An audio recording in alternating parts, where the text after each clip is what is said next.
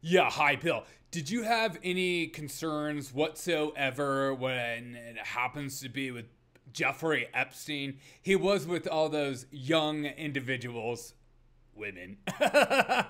did you have any concerns? Oh, certainly. Uh, oh, you did.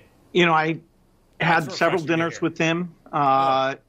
You know, Anything hoping else? that uh, what he said about getting billions of philanthropy for global health uh, through uh, contacts that he had might emerge. You right. know, when it looked like that wasn't a real thing, that relationship ended. But it was a okay. huge mistake uh, to spend like time with him, to give him the credibility of, you know, being there. There, there were lots of others uh, in that same situation, but I, I made a mistake.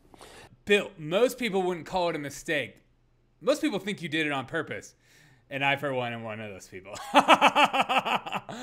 you should be locked up. Have a great day.